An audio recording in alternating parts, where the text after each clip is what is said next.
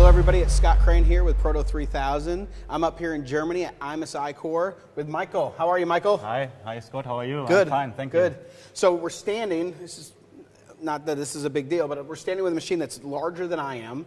Okay, and it is the uh, Coritec 650i. Exactly, yeah. So it's our high-end model. High-end, right. high end model, right? so tell us, tell us about this. This thing is massive. Yeah. So it's a massive machine. So you can have this machine in uh, two possible versions. So just the machine with uh, one station for the, for the milling, for milling the blanks, and you can have the machine also with a automatic blank changing system as an option. So Okay. optional means uh, if you want or it depends on the customer needs, you can uh, first purchase the machine and later decide to add the loader or not add the loader. But sure, you can also uh, get the loader directly with the machine if needed. Right, and Uh, so and this holds 16 blanks. Is that right? 16. Up to, up to 16. Yeah. So normally in the standard delivery, uh, you have six blanks uh, available inside the loader, and later you can upgrade up to 16 at the maximum. It's all about the price. So Right. the standard is set up with uh, six blanks, and you can upgrade up to 16. Great, great. What makes this machine so robust, and what makes this machine special? Yeah. So specialized in this machine, uh, in the mechanical part of the machine, we only use granite components. Uh, the granite base, we have an x-axis, y-axis, and z-axis for the movement.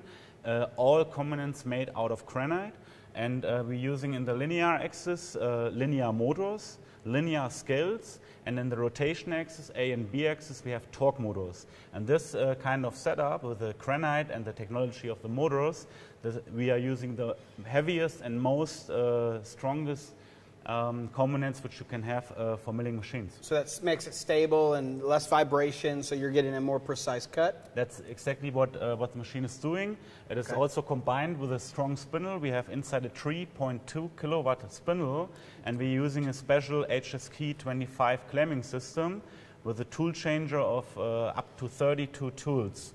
So this spindle, the mechanical components, and the HSK clamping system makes the machine very stable. And the machine is, uh, was made for mainly for customers who are mainly interested in milling chrome cobalt and uh, titanium uh, implant bars, for example, or abutments directly screw retained. Okay. That's the, the target of the machine.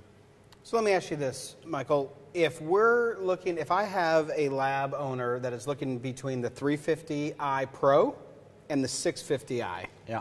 why jump up to the 650? What makes you want to go to the 650i? So uh, it depends on uh, the quantities. So Okay, in general, volume. The, the, the volume, the, um, the 350i Pro can do in general the same applications like the 650 can uh, also do. But uh, when you have, for example, one or two implant bars uh, per day, the 350i Pro should be all right. But if you have a high production on these uh, high accurate um, frames, then we always recommend the 650i. And also the 650i uh, is, uh, has, needs less maintenance. So because of the linear uh, guides and the torque motors, there are no maintenance needed, or let's say at least after five years you should have a maintenance on that machine. The 350i normally has belts and uh, crease, Yeah. crease uh, so you should have a maintenance at least after two years. After two years, okay, okay. No, that, that's really important. So if your volume for precise implant material, implant type of uh, applications, if you're doing one to two, you're good with the 350. Yeah. But So in general, the 350 is a machine which we which we made for customers who have a lot of mixed uh, volume of different kind of materials. So like uh, partially uh, zirconium, zirconia oxide, partially titanium, or pre-mill abutments and PMA, whatever. Uh, this machine is mainly made for the hard materials, so titanium and chrome cobalt.